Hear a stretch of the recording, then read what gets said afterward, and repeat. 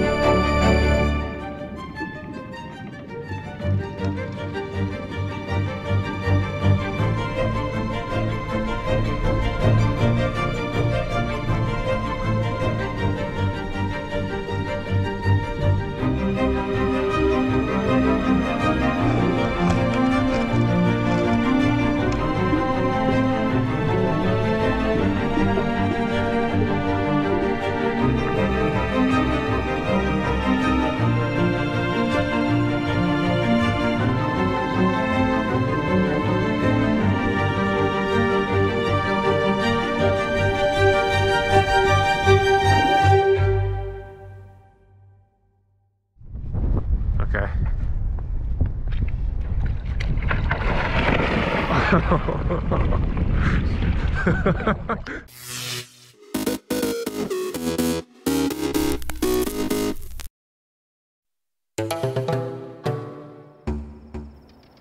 Kalahari's got its own draw. It's vast and it's forever. You've just got to get into those sand dunes on your own, and there you're going to find a lot of solitude. It can seem like a place of massive emptiness, but you suddenly find five, six different animal tracks right there. There's this huge amount of life, and when I'm on a filming project, I really like to try and live like the animals do so that I can experience the hardships that they're going through.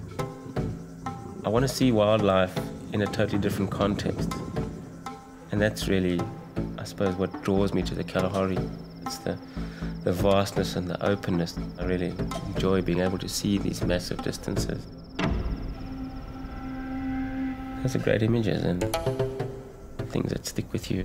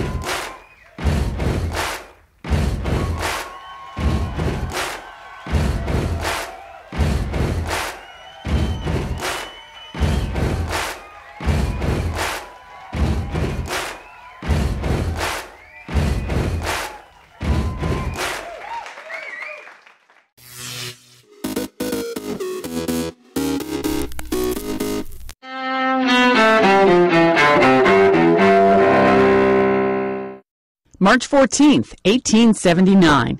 Physicist Albert Einstein, considered the greatest scientist of the 20th century, is born in Germany. It is intelligence which is the ability to learn from experience, to plan ahead.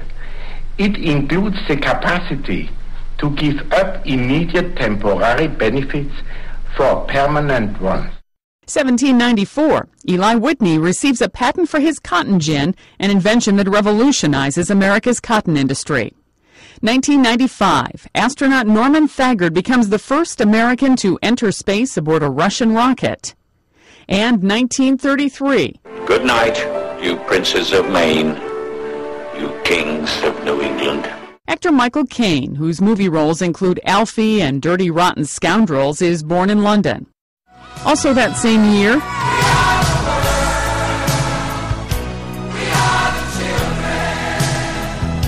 Composer and conductor Quincy Jones is born in Chicago.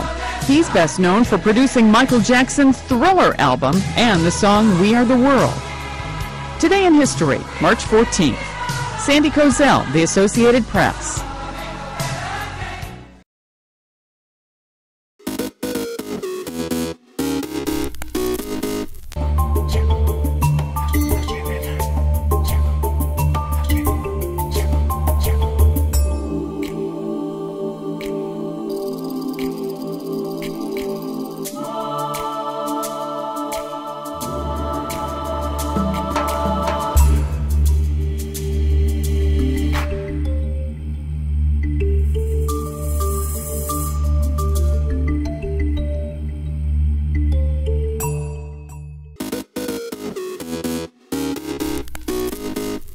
Welcome back in our studio. And in today's news,